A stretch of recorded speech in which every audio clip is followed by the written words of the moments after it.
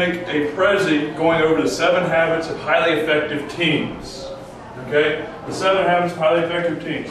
I want you to start out at the beginning here um, with your title page.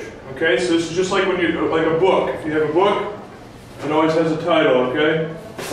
This one says what? Super Guides to Soccer.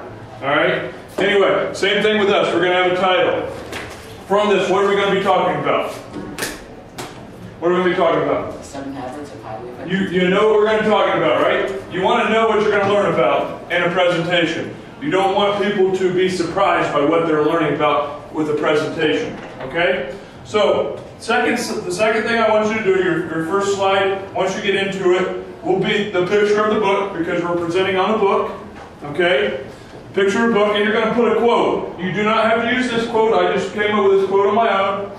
It's something we talked about. You guys remember how we talked about your life changes when your habits change earlier in the year? Okay? If you don't actually change your habits, your life isn't going to change in a positive manner.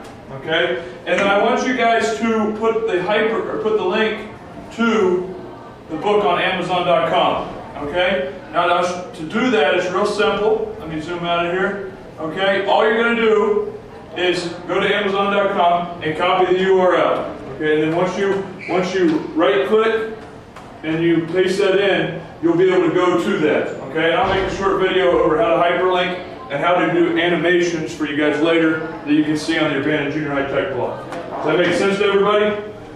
Okay. After that, we're going to start getting into each of the habits. Okay? And I want to organize those within a frame. Okay, so everything you do with, with the habits are going to be organized into a single frame. For instance, here we go. The next slide. Be proactive is the first habit that John Covey discusses in his book. Be proactive. What's being proactive mean? I'm going to give it a try. What's being proactive mean? You don't know? All right, you guys remember E plus R equals O? Yes. What's that stand for? Event plus event plus response equals the outcome. And we wanted our response to be what? Positive. Positive, but also intentional. You guys remember that? I think I might have yelled that at you guys a few times, right? An intentional response to every event that happens, okay? Instead of impulsive.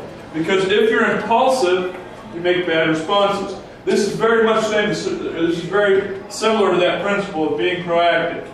Okay? Now, on this second, or on the first, or on each, I should say, of the frames that go over the seven habits, you're going to have to put some kind of animation or transition in. Um, and that's simply making something appear. You guys see that? Does anybody know how to do that already? Has anybody done it on their own already? Have you done it? Okay, how do we do that then, Amr? Just add a slide.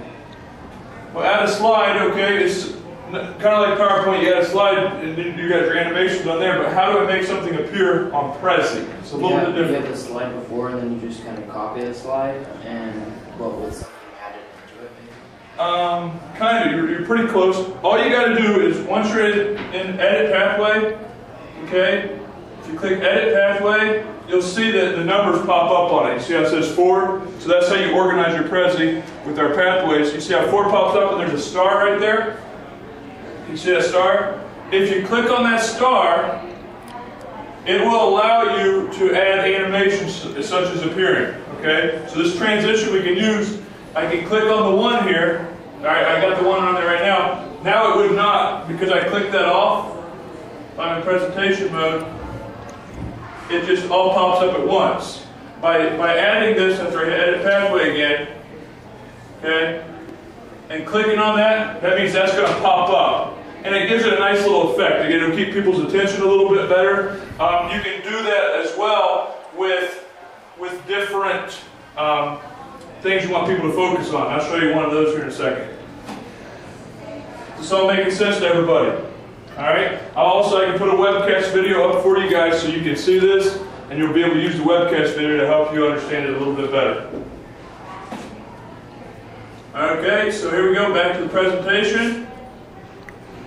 Now, since we don't have a good understanding of what proactive is, and I kind of assumed you guys would not, okay, we're going to move forward and explain it. Okay? Stephen, Stephen R. Covey, the guy that wrote the book, says that being proactive is the foundation of the other habits of highly effective people. Being pro- proactive is the foundation. Just like we talked, E plus R equals O, an intentional response to events is the foundation of, of all the other positive habits you can have. Okay? So here we go. What does it mean though? You guys see, this is what I was talking about. Having something pop up one at a time keeps your focus right on that. You guys understand that? Okay, with all your frames as well, I don't want any more than three to five points. So this is the title of it, and give me three to five points on a slot, on a frame. Okay, if you add more than three to, three to five points on a frame, what do people start to do? They get bored? Do they read it? No, because you tell me a hundred things, you don't tell me anything. You tell me two or three things, then people will listen to them, okay? The presentation needs, to when you guys present, it needs to be you talking about those three points. Not the three points in your, or like 10 points in your reading them all. Okay? So here we go. Being proactive involves taking full responsibility for my behaviors. Taking full responsibility for my behaviors. Alright? Do, you, guys- do we always do that? No? What do you guys do when you get in trouble? You what? Blame it on somebody else, right? You ever do that? No? Okay. You? Bean, you ever do that? Yeah, Every day. yeah. All right. Next one. Making choices based on values, not on moods. Okay, so I value my education. Okay, you guys should value your education, right? Because you, you guys know that the taxpayers of Urbana and the state, even the federal taxpayers, pay for your guys' education. You're being paid to go to school. You know, it costs money. They have to pay all those teachers, they have to pay to keep the buildings up and all that. So you should what? Value your education. That should be a value you guys have. As a teacher, even if I'm in a bad mood, I know it's my responsibility, and one of my values would say, I'm going to make sure I still teach that day. All right? What do we usually do when we're in a bad mood? What do you do? You what? You snap lot? You snap on people? All right? Probably not a good value, right? Okay? What about you? Give me a bad mood. What do you do? Come on, bad son. What do you do, Bean?